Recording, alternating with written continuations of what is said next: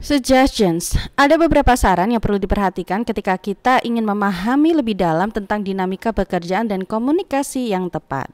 Salah satu hal yang perlu diperhatikan adalah jika Anda ingin bekerja di luar negeri sebagai seorang profesional, Anda mesti memahami bagaimana pekerjaan tersebut itu diminati dan bagaimana how to pronounce these words in English.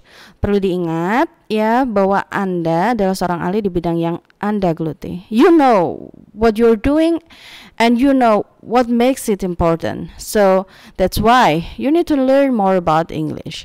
Start with your job title. Perlu diperhatikan ya bahwa terkadang title pekerjaan yang kita geluti itu masih misterius bagi orang lain. Mereka tidak memahami apa sih yang dilakukan dengan pekerjaan seperti itu gitu.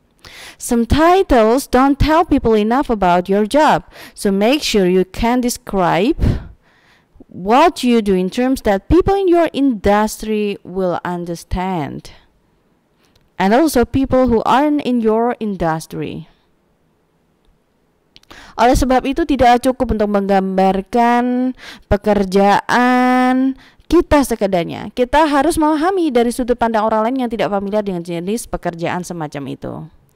I think this is our final part of a sequence of some videos. I hope that you gain benefits from it. Have a great one.